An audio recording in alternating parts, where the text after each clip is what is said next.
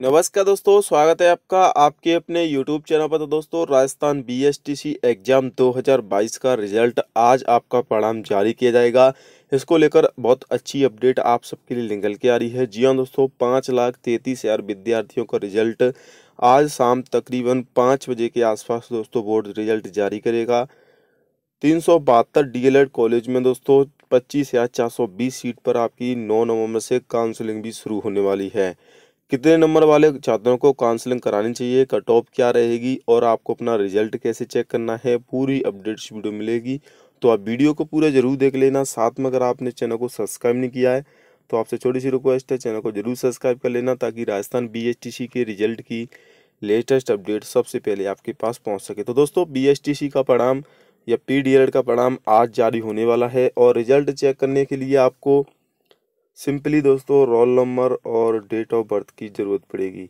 जी हाँ दोस्तों, तीन सौ बहत्तर डी एल एड कॉलेजों की पच्चीस या सात सौ बीस सीटों पर मिलेगा प्रवेश। पाँच लाख तैंतीस हज़ार अभ्यर्थी हुए थे इस परीक्षा में शामिल। जी हाँ दोस्तों, आठ अक्टूबर को एग्ज़ाम का आयोजन किया गया था। टोटल अगर फॉर्म की बात करें तो दोस्तों, इसमें फॉर्म भरे गए थे पाँच पॉइंट निन्यानवे लाख, यानी कि पाँच लाख निन्यानवे हज़ार फॉर्म भरे गए थे, जिसमें से दोस्तों काफ़ी सारे छात्र अनुपस्थित रहे।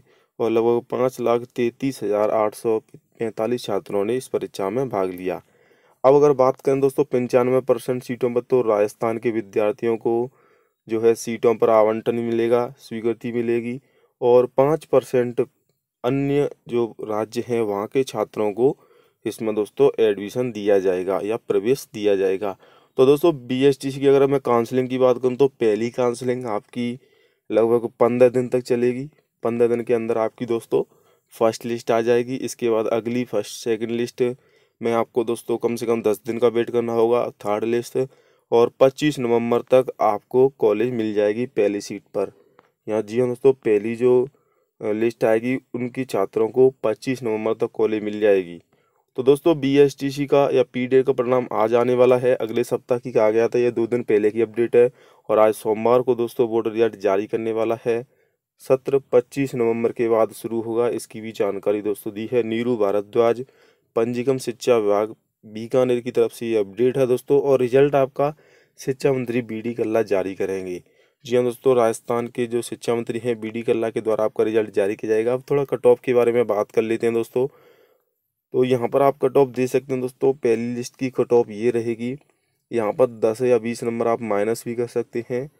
तो 410 से लेकर 430 बीस नंबर कम भी कर सकते हैं।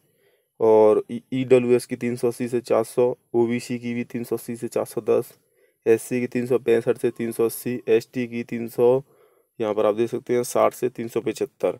दस पाँच नंबर ऊपर कट ऑफ़ हो सकती है, ऊपर नीचे हो सकती है दोस्तों।